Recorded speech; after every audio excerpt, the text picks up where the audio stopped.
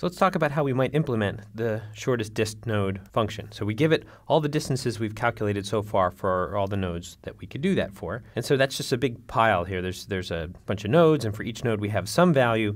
And a lot of these values are temporarily assigned. They may actually change later. But what we want to know is which of these, like to pull out the smallest value, and then we'd actually like to, to delete it from this, this set. So we don't have to worry about getting the same value over and over and over again. We want to, next time we want to go in here, we want to get the next smallest. So how many different values might be in this blob? Well, there can be at most one for each node. There are probably less, there's probably lots of nodes that haven't been added in yet. But at worst, it's going to be big theta of n. The nodes that are in the graph may have distances associated with them.